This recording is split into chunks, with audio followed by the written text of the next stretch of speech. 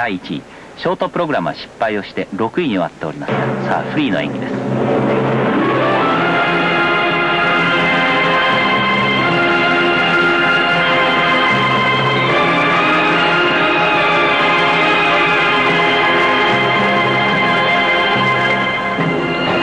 っかり女性の魅力が出てきましたね。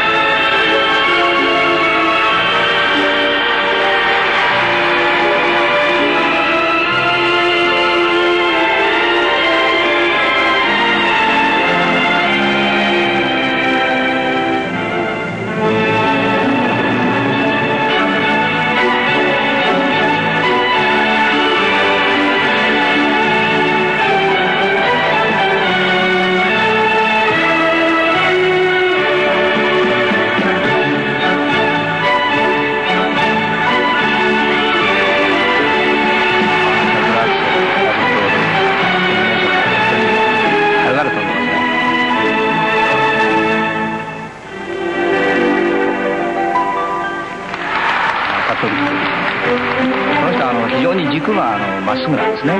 ですからあの体がとっても大きく見えるんですよね。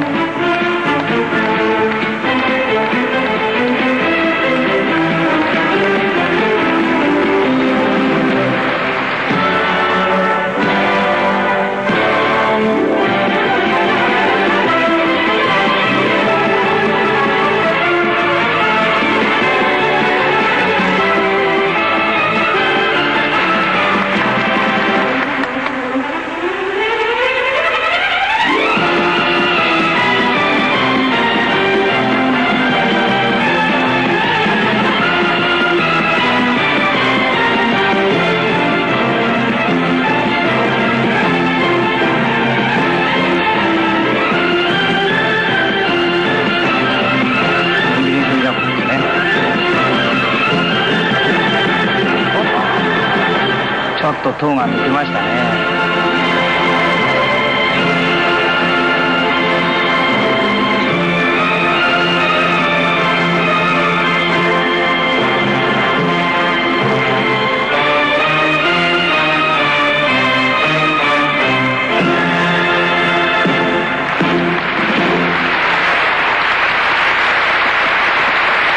まああの転倒がなければ今度パーフェクトに近いと言っていいでしょうね。そうですね。この人この頃ねこういうあの細かいミスが出るようになったんですね。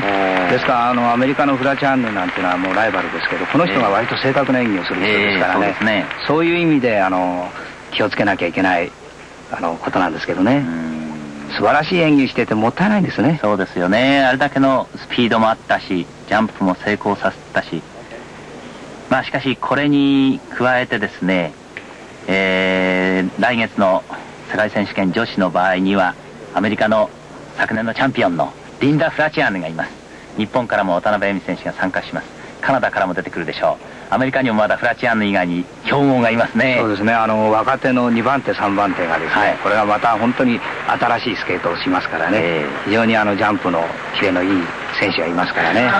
しかもアメリカの場合にはあの各ブロックから全米選手権に出てそこでまたその代表の座を争うという大変なその狭き門をくぐり抜けてくるわけですから。そうですね。こういう大会にも強さを発揮するだろう。なかなかペッチとしても優勝するためには簡単にはいかないでしょう。そうですね。大変その実力を十分発揮すればね、ええ、もう優勝してもおかしくない選手ですからね。そうですね。実績はありますからね